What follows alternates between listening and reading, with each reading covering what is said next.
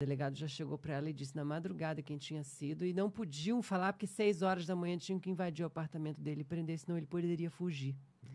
E outra coisa, Rodrigo, tem coisas naquele documentário que não foram ao ar, porque eles colocaram só coisas que estavam nos autos, mas a história do assassinato de Daniela Pérez é muito mais macabra do que se pode imaginar.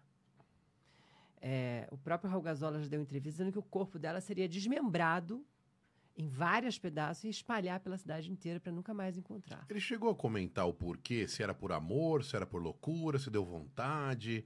Eu nunca, nunca falou diretamente. Olha, ele deixou claro isso, que foi por cobiça. Não teve outra razão. Ele nunca teve envolvimento amoroso Porque ele também nenhum. era ator da mesma... Não lembro o nome da novela mais. De Corpo e Alma. Isso. E Ele os dois era- eram atores, só que ela era- era a protagonista, né? Ela era uma das protagonistas.